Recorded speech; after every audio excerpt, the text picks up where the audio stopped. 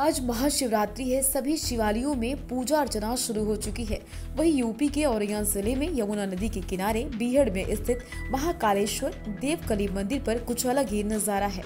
यहाँ पर औरैया ही नहीं, आसपास के कई जनपदों से श्रद्धालु आते हैं।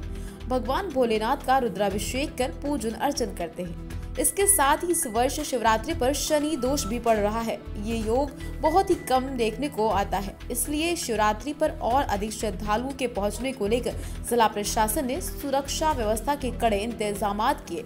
और यहाँ के देवकली मंदिर पर भगवान भोलेनाथ का पूजन अर्चन करने के लिए कल शाम से ही श्रद्धालुओं की भारी भीड़ जमा होने लगी। और यहाँ की यमुना नदी किनारे देवकली मंदिर पर वैसे तो कल शाम से ही श्रद्धालुओं के पहुँचने का सिलसिला शुरू। इसके साथ ही सुबह से ही श्रद्धालुओं का तादा लग चुका है।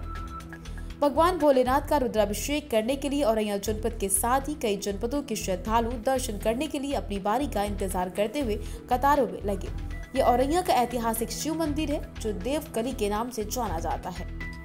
लोगों का मानना है। यहाँ पर जो भी भक्त अपनी मुराद लेकर आता है, भगवान भोलेनाथ उसकी हर मुराद को पूरा करते हैं। पहले भी जब यह जनपद दस्यु, प्रभावित जनपद था, उस समय दस्यु भी भगवान भोलेनाथ का रुद्राभिषेक करने के लिए आते रहते थे। इसके साथ ही इस मंदिर के कई रहस्य हैं, जिनको आज तक सुलझाया नहीं जा सका। बताया जाता है इस मंदिर का शिवलिंग प्रतिवर्ष बढ़ता है। इसके साथ ही मंदिर में स्थापित शिवलिंग पर चढ़ने वाला जल कहाँ निकलता है, ये किसी को पता नहीं लगता।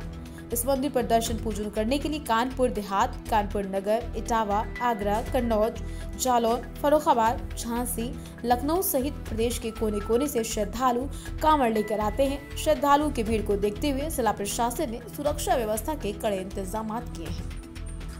का पर्व है। आप देवकली मंदिर में दर्शन करने के लिए आए हैं। यहाँ मंदिर की क्या मान्यता है?